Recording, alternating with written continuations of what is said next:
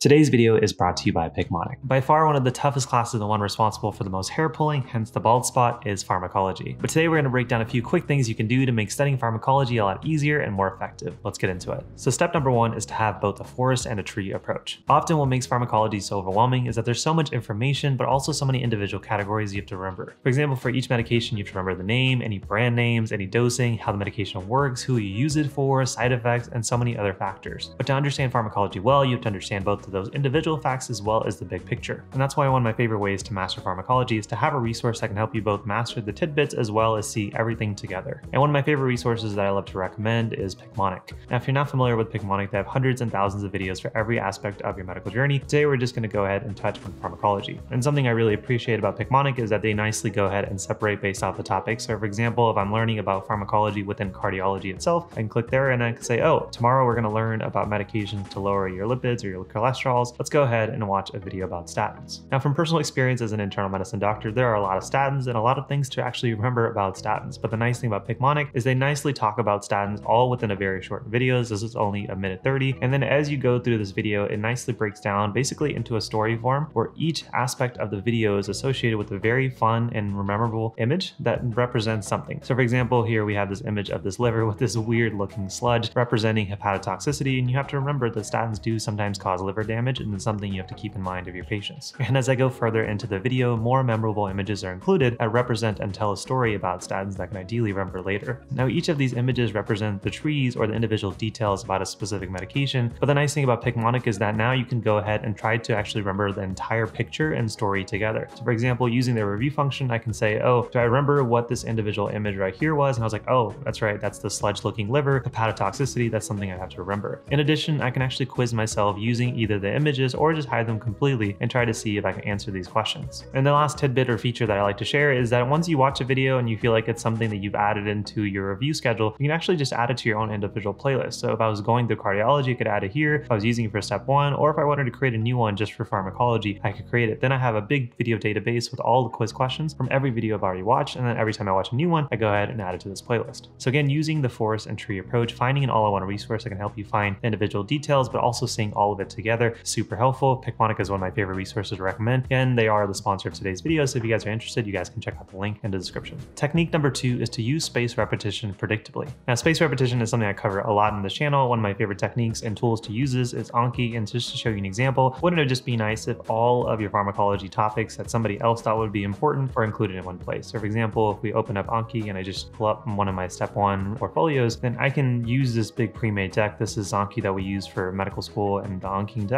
There are plenty you can find. If you just Google pharmacology Anki deck, you will find one that will likely go for you. So if you're in nursing school, if you're in PA school, if you're trying to be a dentist, you can find something. But just using this as an example, and one of my favorite things to recommend to students is to find these pre-made decks that they really enjoy and then find the relevant pharmacology deck either within the specific su subject. So if you're learning cardiology, you could find the Cards Pharm deck or just find the entire deck and try to move it out and make it a big deck. So for example, here I have an actual individual pre-made pharmacology deck and I can say every morning I'm going to go ahead and make a predictable schedule of doing this for 10 to 15 minutes. Often students get overwhelmed by the amount of cards that are in one of these pre-made decks because somebody has spent so much time doing this. And just to show you an example, this is a pre-made deck with 4,000 cards. So a lots of cards, but the goal is not to focus on getting through all the 4,000. Your goal is to focus on doing a specific amount or time every single day and making your pharmacology knowledge a little bit better. So in this setting, I may say I'm going to commit to 10 to 15 minutes in the morning, maybe 10 to 15 minutes after lunch, and that will be my pharmacology review. You can obviously make your own schedule, but doing that, I can have a timer and saying, let's just try to do as much as I can. I'm not going to focus too much on what Anki is recommending. I'm just going to go ahead and do as many cards as possible. And so here is a card on levothyroxine or Synthroid used for the thyroid, and I can just continue to do these for 10 to 15 minutes. Now, depending on the pre-made cards and the deck that you use, you may have a lot of more stratification you can use to actually be able to study a specific topic. So I can go into custom study and this, and I can say, let's go ahead and review all the cards within a certain tag. And then using tag, if because somebody already made these cards, I can say, well, let's go ahead and do any cards that are related to pharmacology and cardiology. And then using these tags, and there is a lot more tags than usually are for another pre-made deck, I can say, let's go ahead and just do all of the topics that are related to cardiology pharm, because that's what I'm trying to learn this week. In doing so, and this is going, it's to show me the cards that are acceptable for that. So antacids, things like vomiting, and going forward. Now, if you're new to Anki or if you gave it a shot in the past and it just hasn't quite worked out, make sure you check out this entire episode on how to use Anki like a pro step by step. I go all the way from the basics to advanced techniques. Essentially, it's the technique that I use to help me go from 10 to 5 hours of studying in medical school. So make sure you check that episode out. Lots of people have liked it. Almost, I think it's at 5 to 600,000 people. I've gotten lots of positive feedback for people that have seen the video on YouTube. So again, even if you've given Anki a shot and you haven't been able to quite figure it out, make sure you check out that episode and see if it helped you on pharmacology or any related topic in your medical journey. Now, technique number three is to use a hit list method. Now, sometimes the hardest thing about pharmacology is that I'd get overwhelmed by the list of medications I have to know by the next quiz or test. I just get paralyzed and anxious before actually doing anything. And so one thing that I started doing early in medical school is going very simple and creating essentially a Word doc of all the medications that I needed to know. And I would put the category as one bullet point and then all the fair medications. For example, if I had inhalers, because I was in the respiratory tract, I may say inhalers and then make a big list of the next 10 to 15 medications that I would need to know. And then if I needed to know something for pulmonary hypertension, I would add that as another category. And then all of the fair medications that came from my slides, quiz questions, etc. So for example, here is a quick example of what a hit list may look like for a pharmacology block. You may have some of your initial medications that you're learning, and then just adding each one you have to know in the list. Now, when I come to study, while it's overwhelming to see all these medications I may not be familiar with, the next goal is essentially come up with what I want to know for each one. So for example, I may want to know the mechanism of action for the MOA, I may want to know who use it for, and then I may want to know common side effects.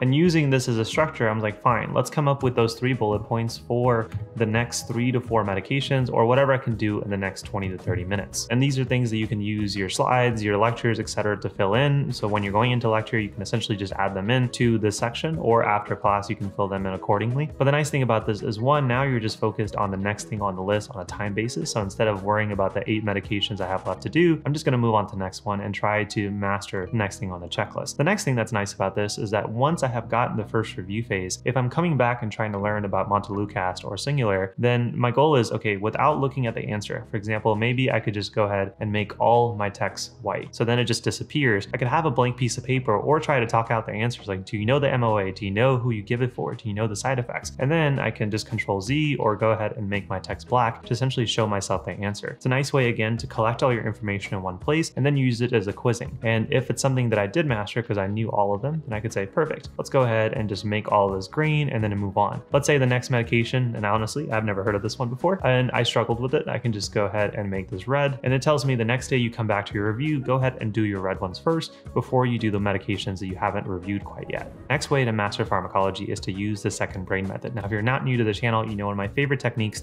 to use to master something called the second brain is Notion. Quickly to explain, second brain essentially means instead of trying to count on your brain to hold on to all this information, collect it into a nice database and then come back to it very periodically that you can continue add to and review. So for example, here I have actually a database that I made for one of my coaching students, somebody who's going into residency and they want to master everything needed for internal medicine. And so for this person, instead of forcing themselves to learn medications that they haven't prescribed, haven't actually interacted, it's like, perfect, let's make this actually usable. So maybe you're in a setting where you're going to be treating something like hyponatremia. It's nice to go ahead and have a database where now you're going to learn about hyponatremia. You're going to go into this and then add all of your relevant information information, any types of pictures or things that you find, and then perfect. Then when you're asking yourself like, what do I use to treat hyponatremia? You're gonna come across naturally medications, dosage, prescriptions, side effects that are going to be relevant to that category. Using the second brain method, now I can go ahead and one, add those medications like salt tabs, Lasix, water restriction, which is not a medication itself, but is a treatment. I can add those into my hyponatremia section, and then I can create another separate folder as she has done for things like hypotension or hypertension, and then add specific medications as you're learning about it. It's much more natural use of pharmacology. So if you're somebody who is in nursing, PA school, medical school, and you're learning about both the disease and the treatment, make it a very natural to the transition where you're learning about the disease and then the actual medications to treat it. So then you've already kind of connected the dots instead of trying to learn hypertension medications away from hypertension itself. And what makes the second brain method so effective is the next time I come across a medication, I'm like, oh, there's a side effect I actually didn't know about, or I didn't actually write the dosage last time I learned it. You can find that chapter or create a new one and add it in. And this student, as we've kind of created for them, is essentially a checklist. So they have a schedule, and every time they learn something, they'd go ahead and click checkbox. And probably my favorite way of learning pharmacology is simply learning through mistakes. Often, as a full time physician, although I don't make mistakes by prescribing the wrong medication, but maybe I realize that there is a better option, or a patient has a side effect that I wasn't aware of.